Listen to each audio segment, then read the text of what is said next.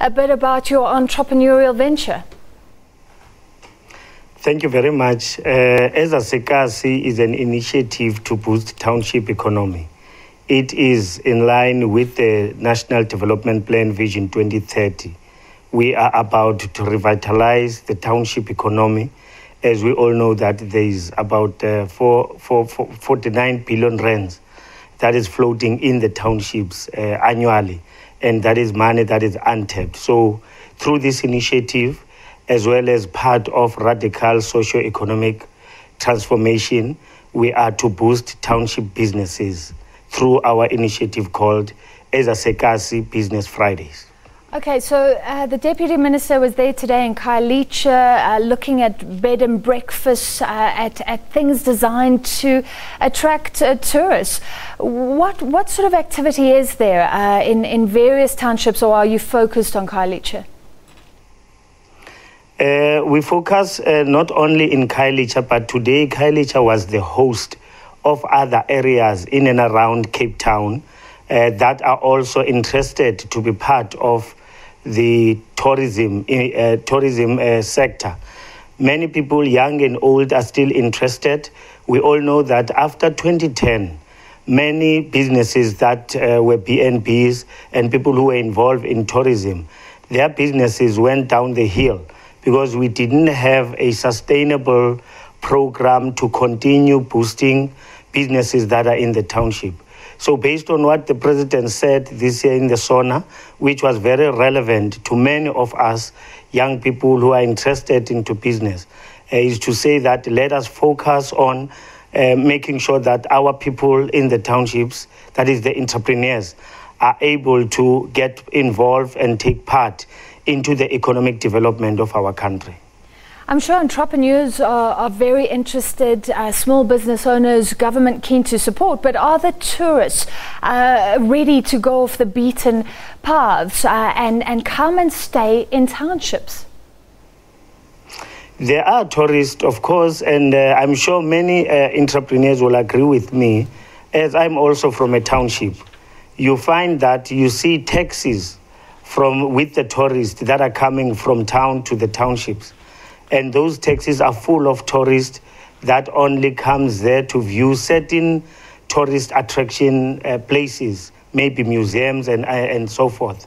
But now, when those tourists are finished with touring the township, they get back to the taxi, uh, which is owned also by someone who's not from the township. And they go back straight to town to have lunch and, and, and enjoy themselves for accommodation.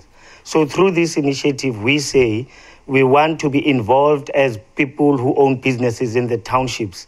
When those taxis come, in fact, they should, the tourists, be transported, uh, or not only from the businesses that are in towns, but also by us, the owners of, the, of such uh, businesses in the townships, to make sure that they eat there, they enjoy themselves, and as you saw in your clip, that uh, there are credible BNBs that we have in our townships. So we encourage tourists as well as South Africans to support the businesses that are in the townships.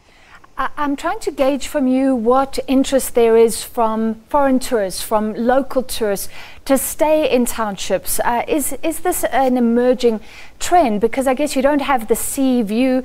Uh, it's not always beautiful, uh, but you get to uh, live that in in a township, uh, get to see the community uh, and and experience township life for for a small sliver, I suppose. Yes, of course. Uh, the, in fact, there are many things that are exciting in our townships. I mean, there's a township style on its own, or lifestyle, let me put it that way, that you will learn the culture in the township, the way of doing things. And it's, it's, it's always uh, attractive to the tourist as well as to us as people who live there. So um, we encourage people to, to come and support the businesses uh, that are located in the township, not only on the side of the tourism sector. We do have museums, uh, we do have heritage sites. There are many places that we can visit. But what we're saying on top of that, we say on Fridays, let's dedicate a day. On Fridays, let's go there to the township. Let's have lunch in groups from our companies. Let's support, let's wear what has been produced by a local fashion or township fashion designer. Uh, I'm talking about clothes, and in so many ways, fill up your tank in the township filling station uh, that is owned by someone, perhaps uh, uh who's also from the township or a black person. Mm-hmm. that is the way that we can be able to grow uh, the imbalances of big business and small business throughout the country. Uh, in Khayelitsha, for example, is, is crime a problem, a deterrent? Um, I would say that crime is a problem everywhere in the country. We, we know that uh, uh, crime is a problem, but uh, that does not, or that should not stop people from going due, due to the support uh, that we get from SAPS and the community structures. In today's event, we had the community uh, structures being part of it uh, in the Imbizo that we did today. And we made sure that uh, everyone is safe through the Khayelitsha Business Forum and Khayelitsha Development Forum.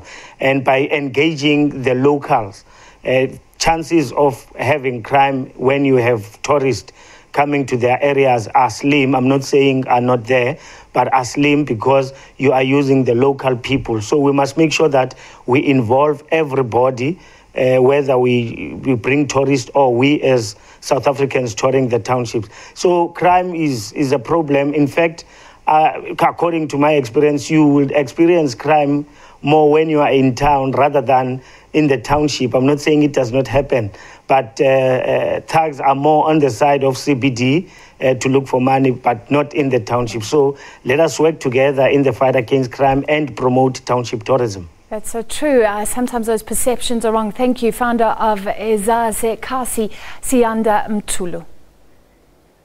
Right, let's take a quick look and see what happened.